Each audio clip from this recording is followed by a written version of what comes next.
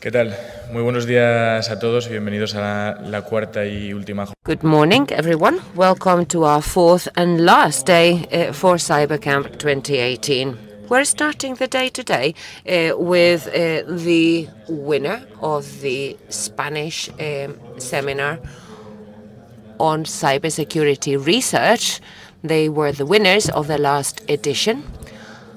And uh, INCIBE organizes that seminar with them because INCIBE uh, very much believes in uh, the need to do R&D and I.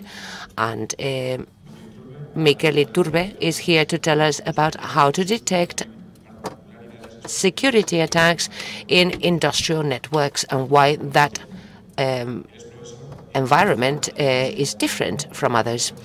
He is a lecturer at the University of Mondragon. A warm round of applause for Mikel. Thank you so much, Jacobo. Welcome. Thank you very much for coming uh, to my workshop. And Jacobo uh, has very kindly introduced me and told you that I'll be addressing how to address security attacks in industrial environments from my own viewpoint, in my own experience. Because uh, in my research, I've been trying to compare uh, how we've been learning uh, about security from different points of view in different environments. And uh, I've been looking into all of that uh, for my uh, PhD dissertation. I will start my presentation, tell you a little bit about our research group. I will tell you why industrial environments are different uh, from IT environments.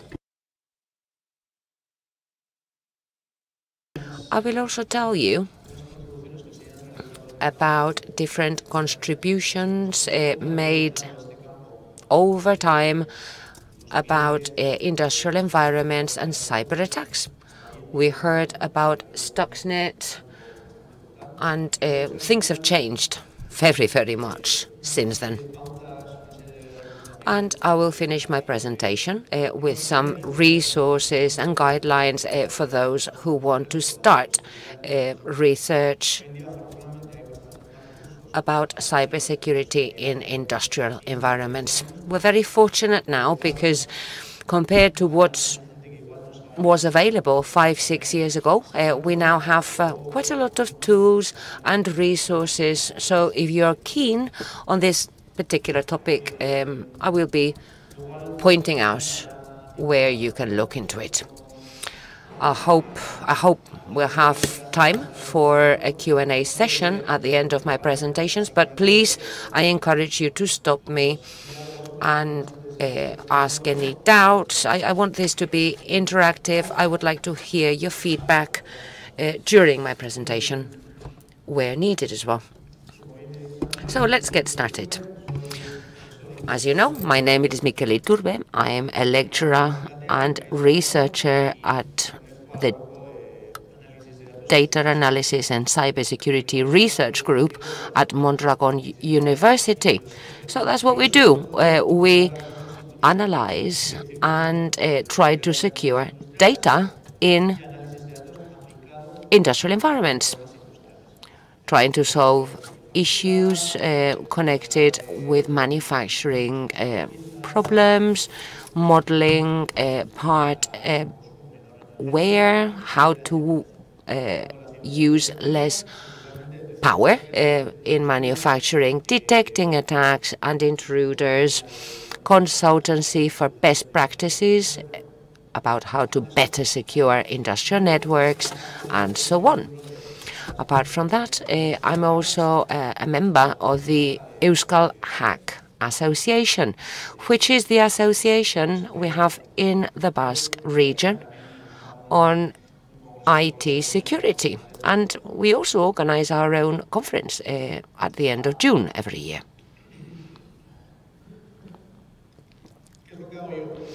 So what is it that I do specifically? I did my PhD on industrial intrusion detection. And I was very lucky because I was given the um, first award, the first prize at the JNIC seminar this year. I work with cybersecurity, as you know, in industrial environments, but in fact, uh, in our group, we always try uh, to be very, very close to companies, uh, whether it's industrial firms or cybersecurity companies. And here we can see up on the list, um, on the screen, a list of recently. I also work with data analysis in industrial firms, although that takes up less of my time. Preparing this workshop, I thought uh, we should first cover a brief overview of some of the industrial attack detection approaches from an industrial point of view, as I say, said. When I started my PhD, uh, things were pretty different. Uh, it's an area that's much more mature, that has matured very fast in the last few years. So before we uh, get into the nitty-gritty of this topic, uh, what is it that I mean uh, when I talk about industrial environments? Are you familiar with this? Or not very much? So what is an industrial control system? Well, I'm talking about systems that automate, control, and administer or manage physical equipment. So uh, in, in a manufacturing plant, for instance, uh, there is an industrial control, control systems. So we're talking about PLCs. Well, we'll see about that later on. So when we talk about critical infrastructures, well, those are the ones we need uh, for our daily use of power and transport, uh, critical manufacturing, and so on. A lot of that uh, is automated. Processes connected with uh, power generation, for instance, that's all automated. So they've got uh, these industrial control systems uh, that's uh, very much under control automated controls. And why is that special or different? Because the main objective of control systems is not keeping something very confidential, not at all. Uh, the, their main core objective is for the process to continue to work. For instance, in a thermal uh, power station, the main point uh, for those systems is uh, for the power station to continue to produce energy uh, no matter what happens. Their second objective uh, has to do with the real interaction these systems have with the physical world.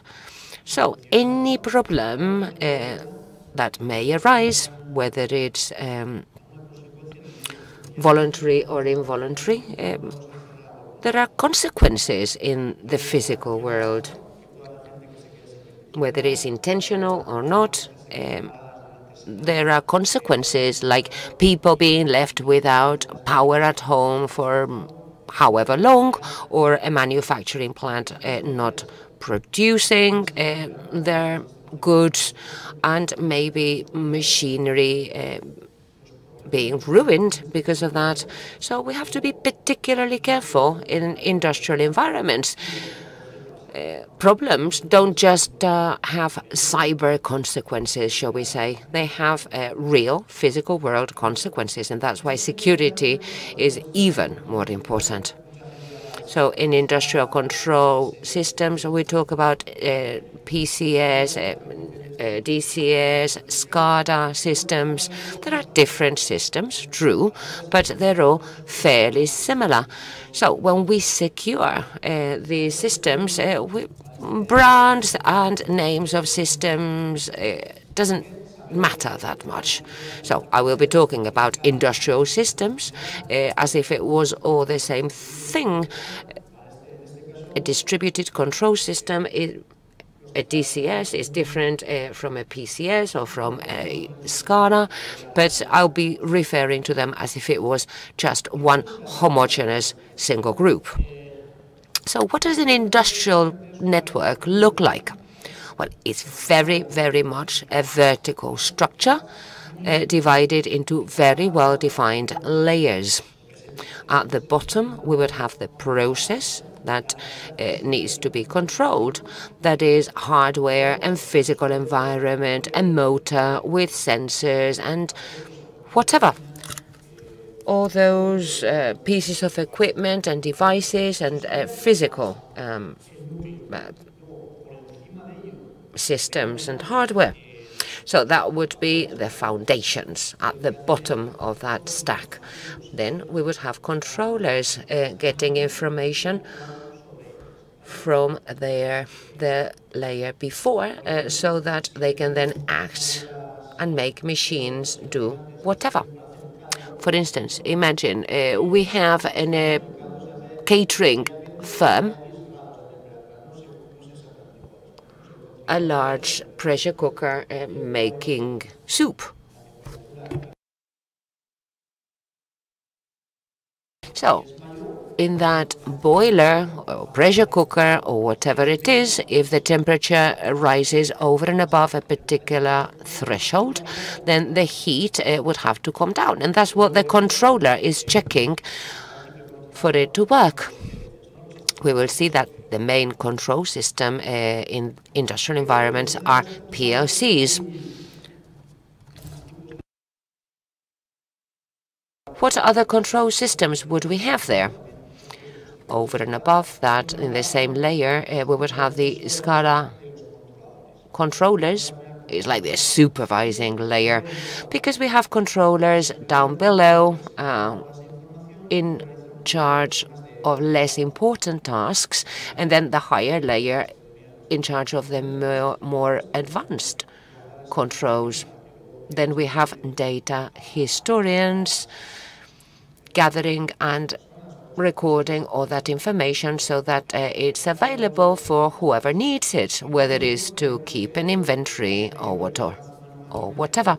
And then we would have the human machine interface, um, HMI, uh, checking that the process is working in a high, on a higher layer. So we're talking about rather complex systems, mostly in critical infrastructures and facilities, which means that operators uh, have to be supervising everything works correctly 24 7 um, non-stop. Operators, people uh, who check if the PLCs, for instance, uh, can't respond well to a particular threat, well, uh, then operators would uh, take charge and uh, have control of the system, uh, of the otherwise automated system. This is a PLC, which is the core of industrial networks. Is the heart and soul. They're in charge of first scale control. This is not a new modern PLC. It has been working for a number of years. And look at all the inputs and outputs uh, on that PLC. Well, they gather information uh, from the field, then uh, they're in charge of distributing information to the field as well, or for instance, uh, to open or close um, flows. All those actions uh, would be done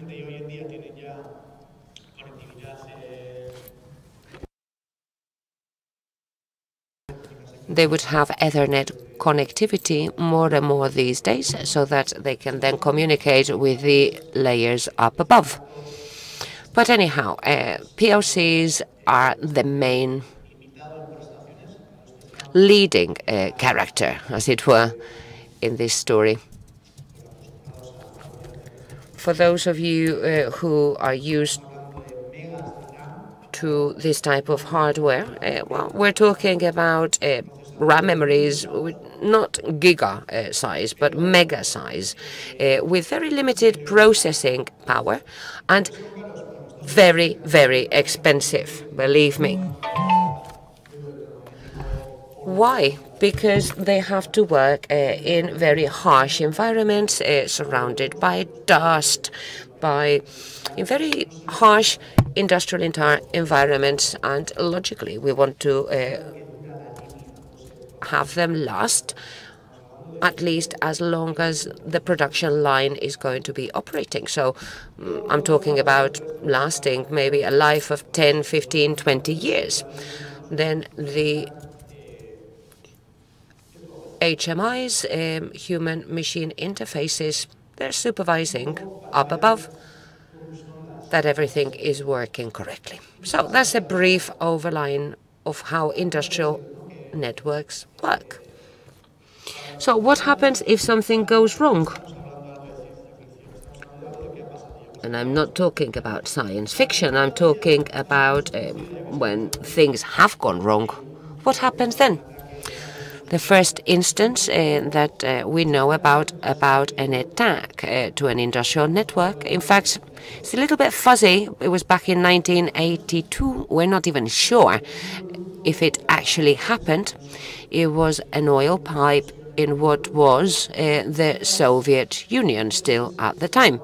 There was an explosion, and one of the hypotheses was that the software that controlled the pipeline, the oil pipe, was a hacked version, an illegal version of uh, the original Canadian software the American uh, Secret Services said the, the CIA said uh, a Trojan uh, had got into that hacked version and that's what caused the explosion. Although the second hypothesis was that uh, it was human error uh, due to an operator. And in fact, it's quite peculiar because uh, we don't even have confirmation if the explosion finally and actually took place at all. Anyway, that's uh, the first possible instance. Now, the second one, 2004, uh, in 2004, this one did happen. A company that was in charge of wastewater uh, treatment in Maroochy Maroochy water breach. An employee stole some radio communication equipment, uh, and in his vehicle, he went uh, to the different pumping stations. And as a result of that, there was a spill of thousands of liters of wastewater uh, into uh, nature parks and with no control. All that sewage at that time, uh, people, everybody thought that radio equipment was ever so expensive, so nobody would be able to do anything like this uh, because of user authentication, security, but it did happen. Uh, he actually went round and opened uh, the taps, the um, floodgates he was caught and uh, the case went to court and um, he ended up in prison. So uh, the third instance uh, is the most popular example that everybody knows about is Stuxnet, the Stuxnet incident. Um, apologies if I'm going to bore you telling you about this. Apparently, it's uh, the most sophisticated malware ever written for zero-day vulner vulnerability affecting two power stations in Iran.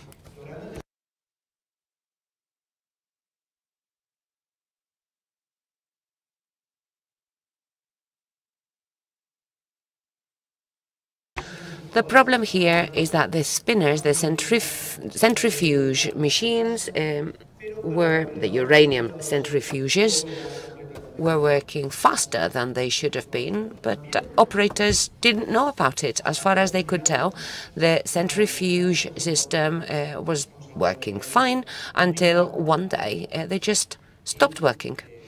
They're, they're very expensive pieces of equipment, and as a result of this, uh, there was a big. Uh, this was a big problem for the um, Iranian nuclear power plan and system. Then the following attack that was confirmed after Stuxnet uh, was in 2004. Uh, it was at a steel, iron and steel mill works in Germany. Uh, we don't know where exactly or which one. Uh, and in 2004, uh, there was a spear phishing attack.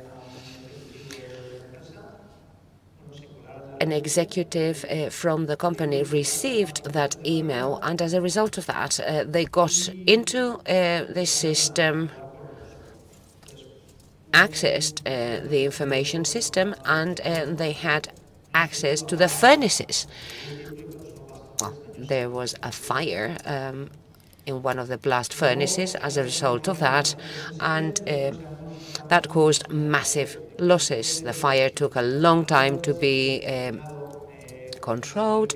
We don't know if malware was used. We don't know if that was their actual proper target. We don't have that information. We then move on to 2015, and this was the large, the first large-scale attack to an electricity um, transmission lines. As a result of that, uh, some 230,000 people uh, in U Ukraine um, suffered a blackout for a number of hours with 30 substations switched off. Similar start, as far as we know, spear phishing on the IT network. And then uh, that's how they accessed the OT network. Well, this is the first lesson we need to learn. We need to really clearly segment and separate the IT network and the OT network in a company. So, how can we protect industrial networks?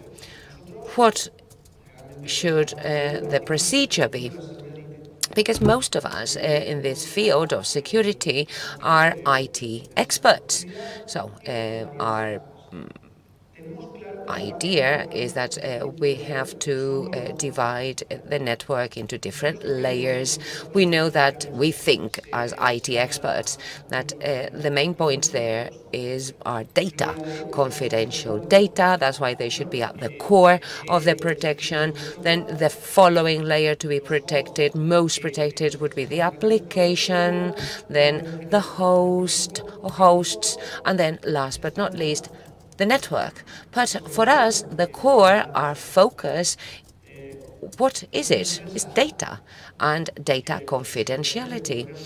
If you go to a company, to an industrial company, and you ask them, hey, what would you rather, not have access to your data for a whole day or for the big wide world uh, to know about all your data, for your competitors to know, and so on. Well, I can tell you, they'd rather not have access to their data for just one day in, sorry, non-industrial networks or company, non-industrial companies. Whereas uh, if it's an industrial environment, it's the process that's uh, important. Uh, what would be at the core uh, would be the process. It's different from what we think as IT experts. They want to continue to produce their parts, nuts and bolts, whatever it is, and traffic data host network is very much secondary for them. Why? Because it's the process uh, that has added value for them. Because industrial cybersecurity, as opposed to IT um, uh, cybersecurity, well, the cost of a cyber attack uh, is very, very easily calculated. They, they tell you straight away, ooh, if it was one week, it would cost us this much. Whereas if it was an, an attack from an IT point of view, not an industrial point of view, it's much harder to calculate that. How much does it cost uh, if a company, if um, the web line for a company crashes for a week? Well, if it's an online um, shop, it's hard to calculate, but in an industrial environment, well, they just cost, uh, count the nuts and bolts they won't be selling. That's the calculation. So again, it's a process availability uh, that matters most. The process must keep going and working uh, no matter what. So when we uh, prepare security measures, uh, you have to we have to be ever so careful and respectful not to compromise the process first and foremost.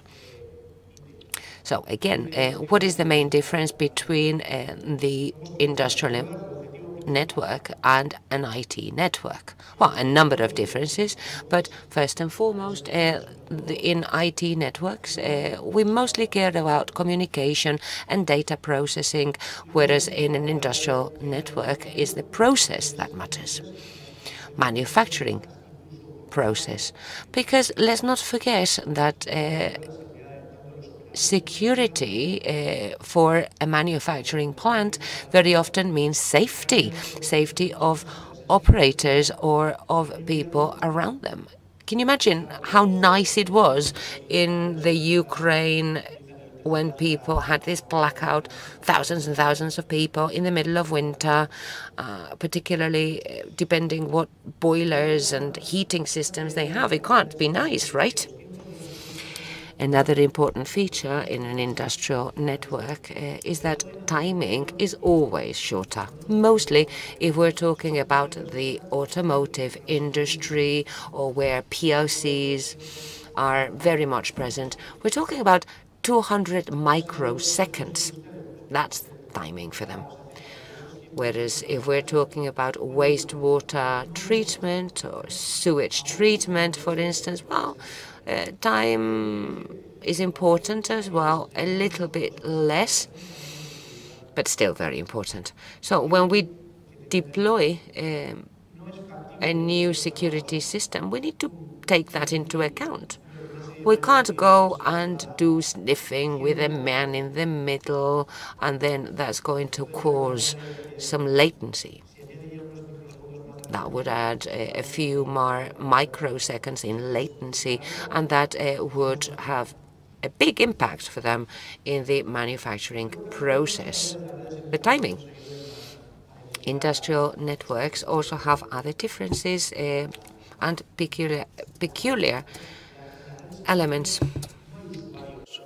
There we don't have users that go to see the newspaper morning, uh, early in the morning all that traffic comes from PLCs, the one saying to the control server, this is the temperature, this is... So every half second, every second, I don't care, it'll stay like that. And every now and then the operator will do something, but industrial networks are much more static and deterministic than the IT networks. Topology does never change, contrary to a Wi-Fi network where users log on and out at all times it doesn't change almost ever. And that's good, because if we see something changing, it means that there's something there that is not as it should. And that's what I'm indicating here. And then what I said before, PLCs and the nodes as well.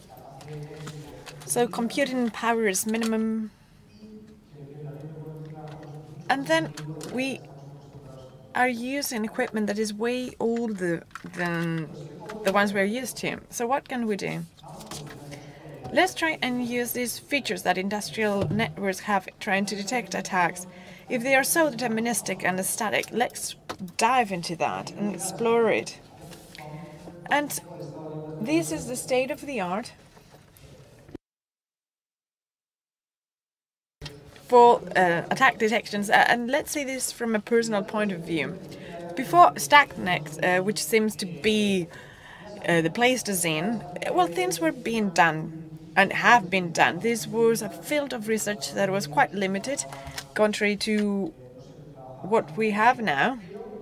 But things were done.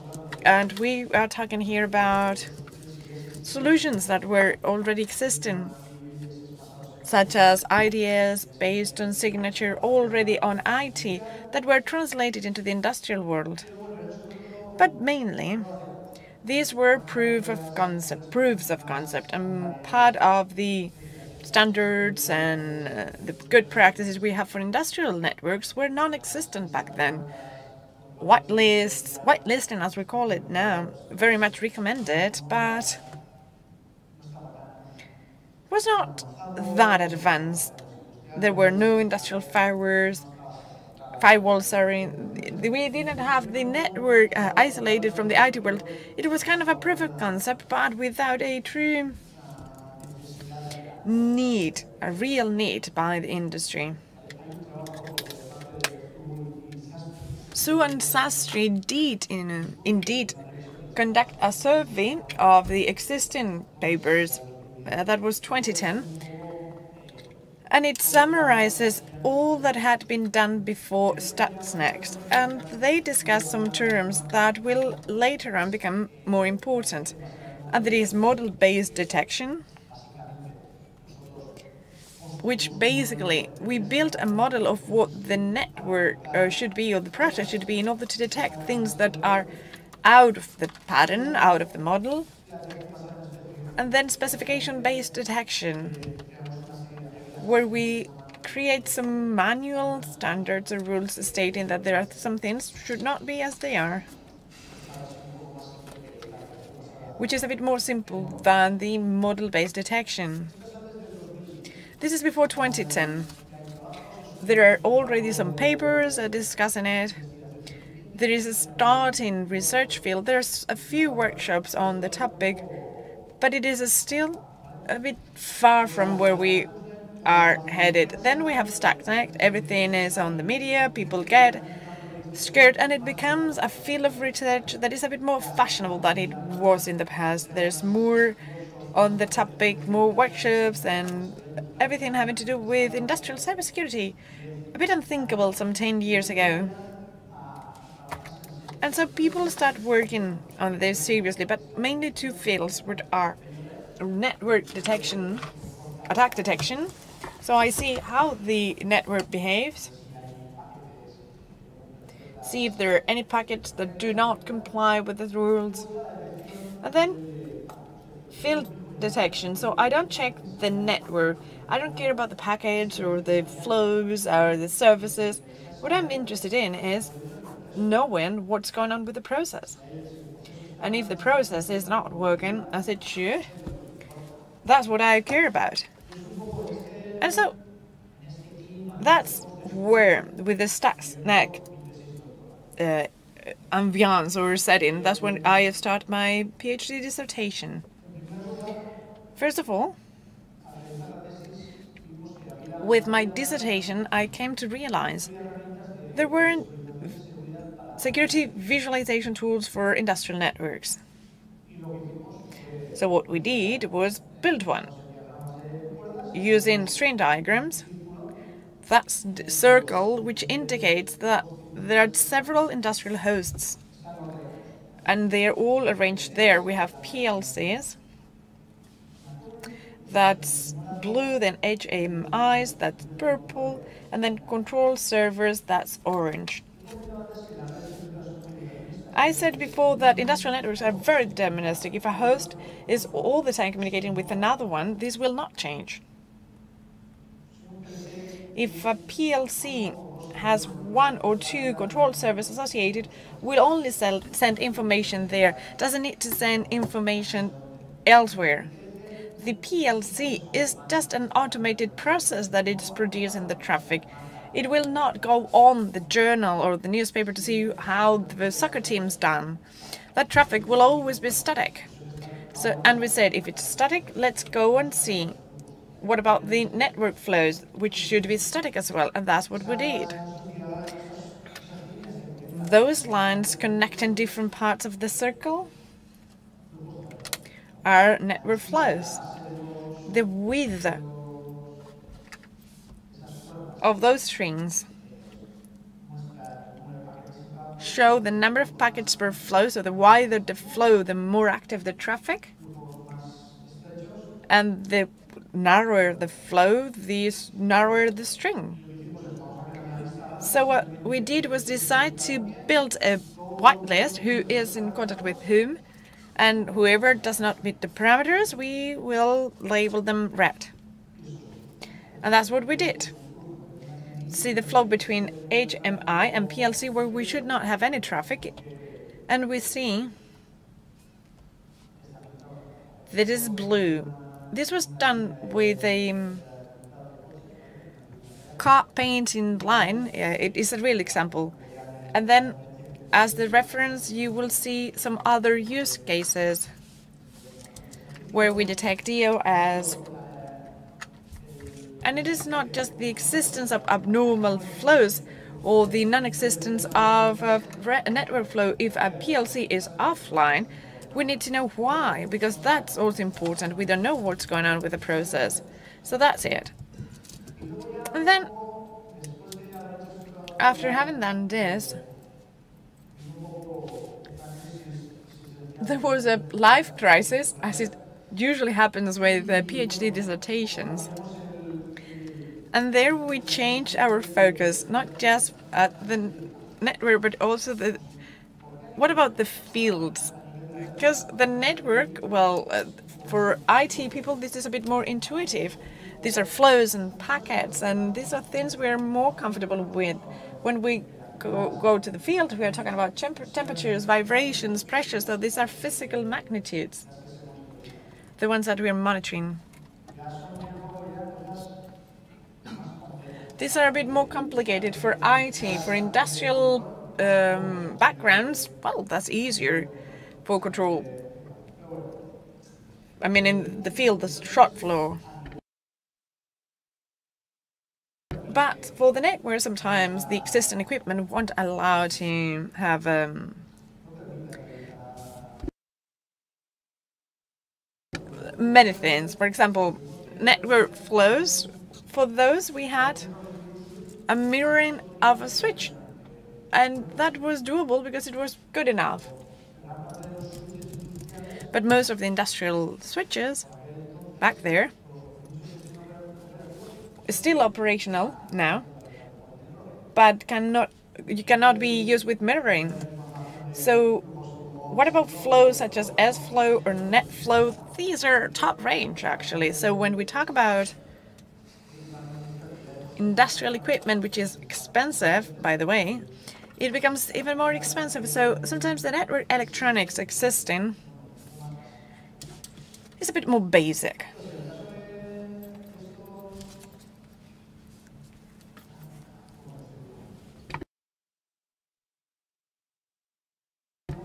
So in the field, we know the data are there and, and we do monitor them. The operator monitors everything, temperatures and everything. So there's something going out that should not. So you don't need to buy expensive switches. You do have the information out there. We saw there were several papers based mainly on physical models. I have a process and I'll describe it using code and I describe everything in the process does. This is um, amazingly complicated. Collecting all the information from the physical world into code, it is actually so difficult because you see interdependencies and it isn't simple. It takes lots of expertise and it's costly. And whenever the process changes, the model is useless. So we focused mainly on attack detection, which would be data guided. We only get data. We do not build a physical complicated process that will not uh, well that yes it would work but it would be too complicated for what we want to do as long as we can get that information out of the data. So first we focused on attack diagnosis. And why is that?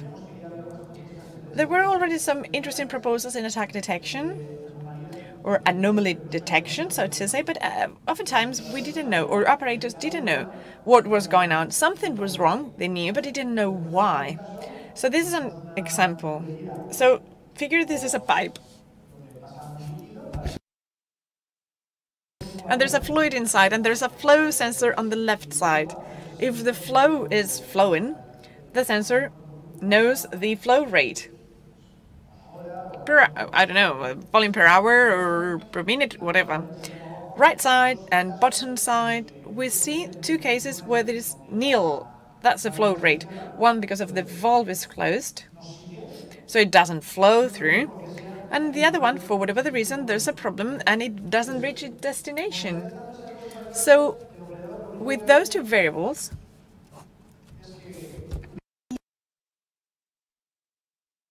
so there's a drop in the incoming flow.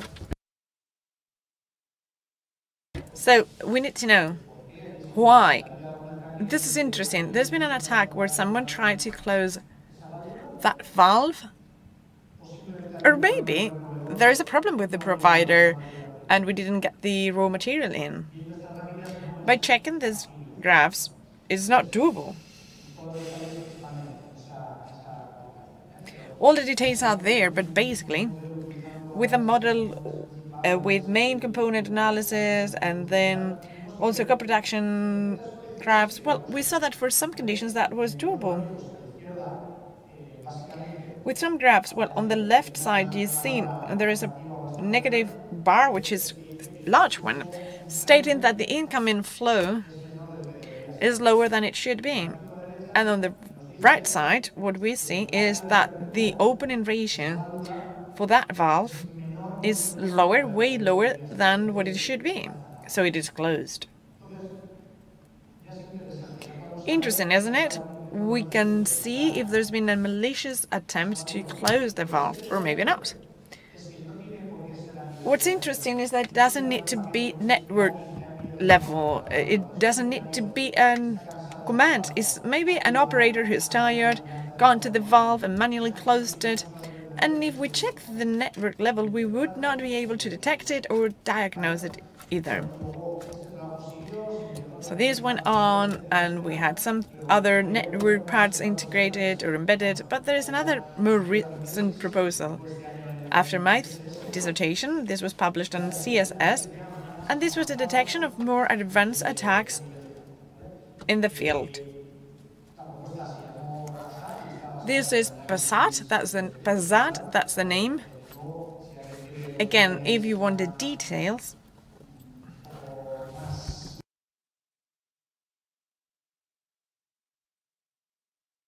you can go to the paper and we can get a signal, whatever that is, a vibration, change in temperature, change in pressure, whatever. And with the blue side, you learn.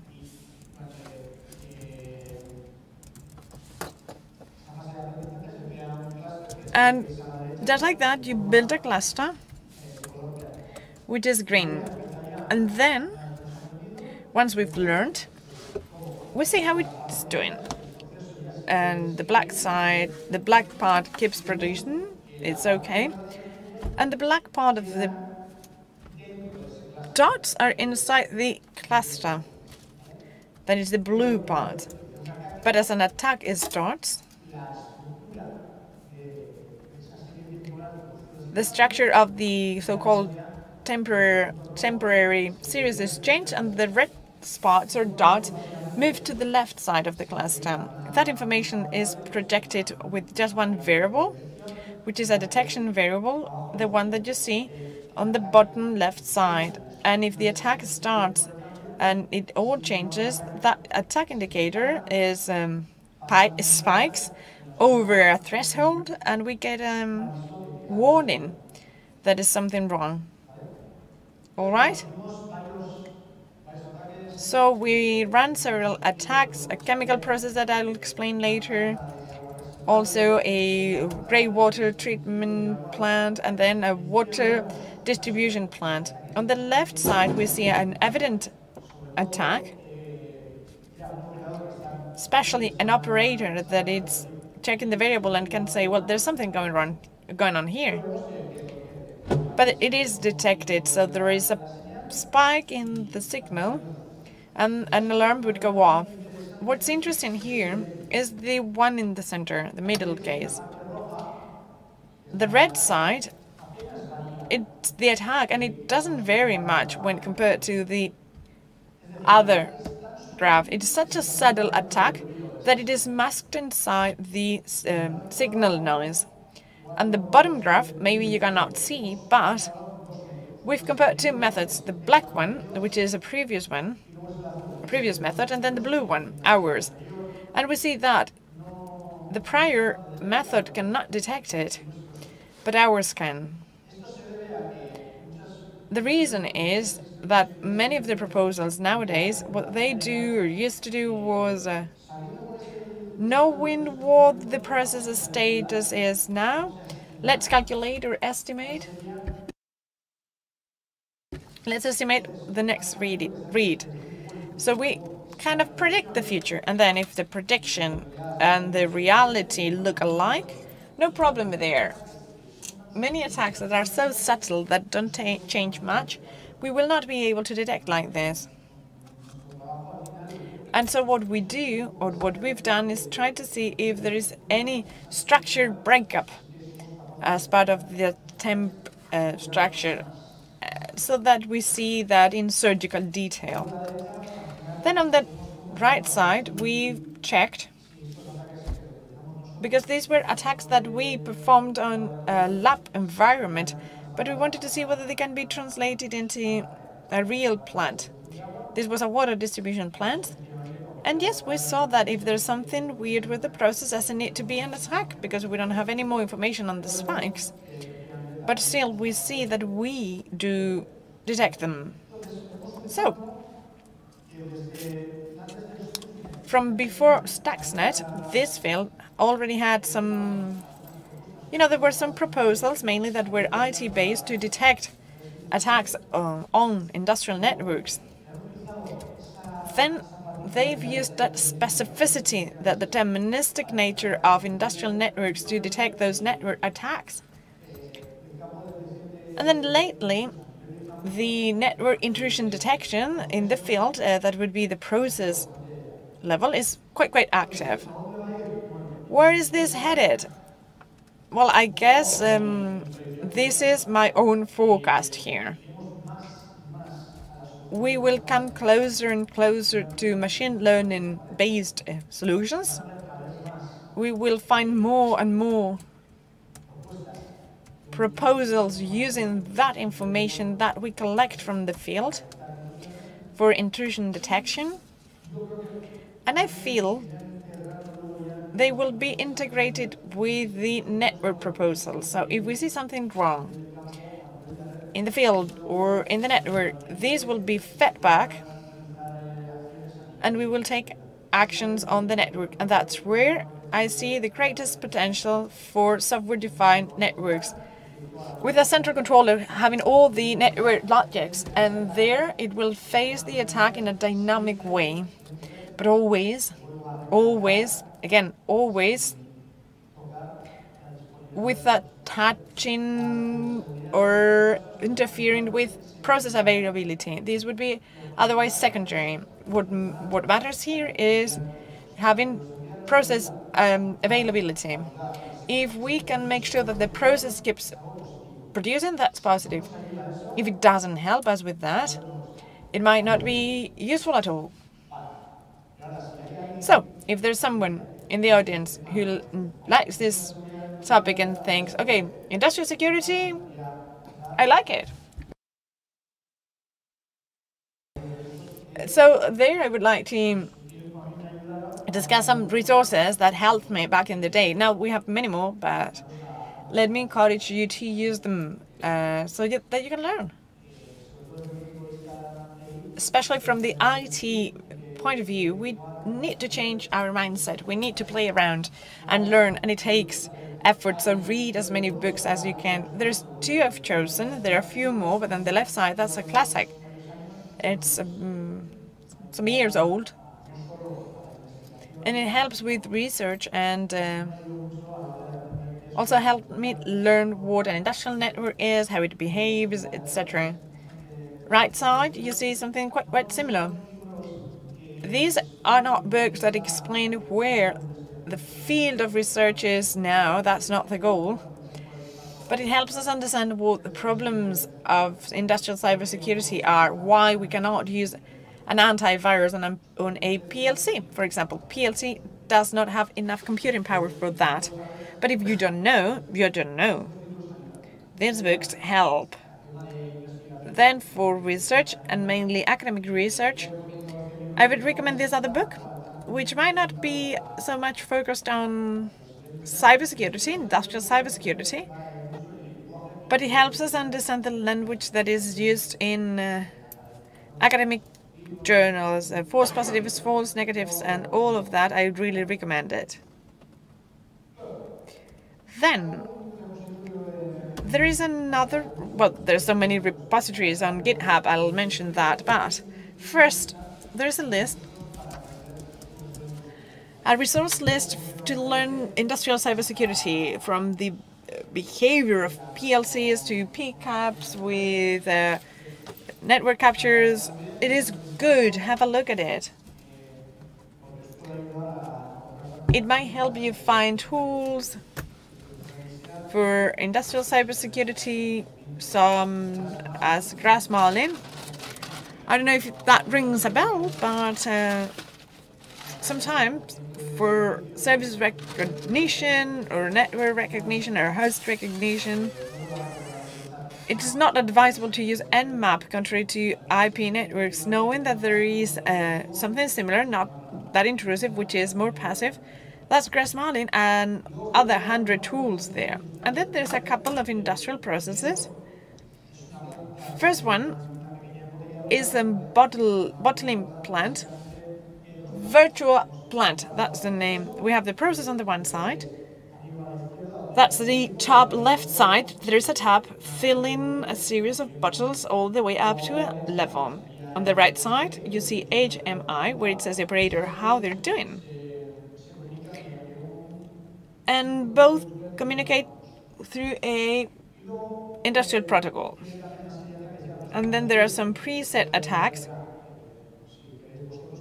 that you can have with your own buzz attacks and where you see that the bottling plant is not working, is not filling up the bottles. Otherwise, it, the plant would be flooded. And it's easy to see, it's Python, so easily understood. And as a first step, it's okay. And then there is a process, which is a bit more complicated, but I really like it. The chemical process I said before, it is a real chemical process, this one. It is a plant that produces uh, some chemical chemicals. And here we can have these uh, surgically accurate attacks. See the process, interdependencies. And actually, it's complicated because it takes some learning about control theory, and it takes some chemical engineering as well, but it is such a powerful tool in order to drive attacks and also de field detection. There's a framework where you can close valves, spoofing off sensor signals. Very good, but complicated though, and as such, it takes time. All right? And just to finish here, so that you get a general idea, ensuring industrial networks is strategic. It is important because of the risk it entails and because of the cybersecurity features involved. But there are some specificities we need to consider. Some play in the favor of the cybersecurity researcher and some others against us solutions that are based on machine learning or artificial intelligence or whatever is a very active research field for the field and for the network both. I'd like to encourage you, if you want to learn, it isn't impossible. Yes, the mindset has to be changed and many things need to be learned and maybe we IT technicians were not so used to it, but it is doable. I managed it and so that means that I guess any of you could. That's been all. If there are questions, I'll be happy to take them.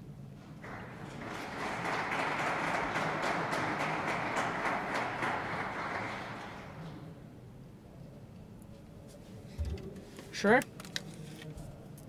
Microphone, please.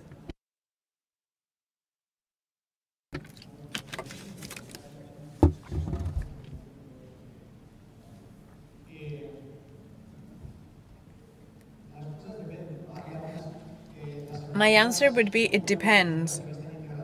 The top range companies already have wireless sensors and that kind of thing. That is a reality. Reaching out to those uh, companies with more resources, but even smaller, more traditional companies where lines are not changed that often, there maybe it remains to be seen when and if.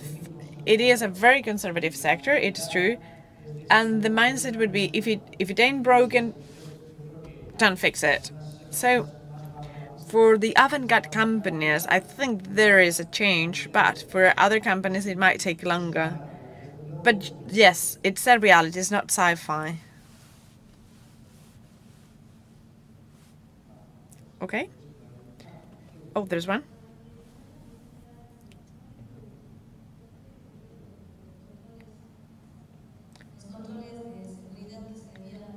What about security controls that should be implemented, the basic ones, that is,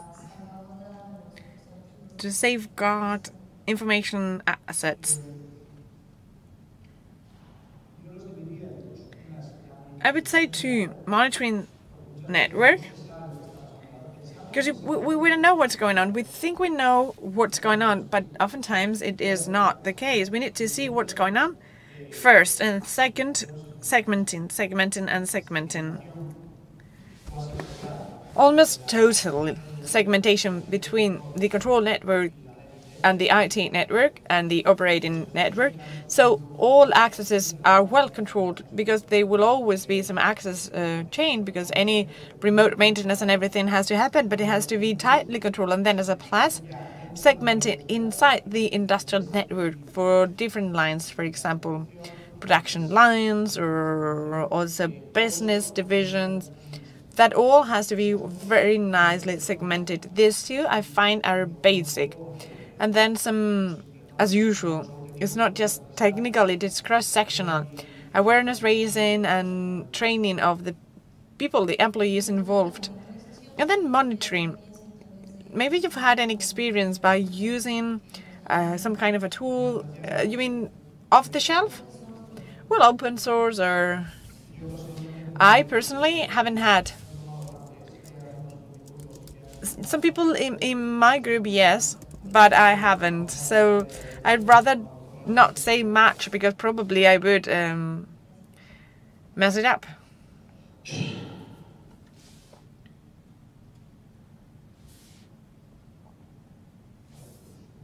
All right. Thank you very much then for your attendance. I hope you enjoyed it.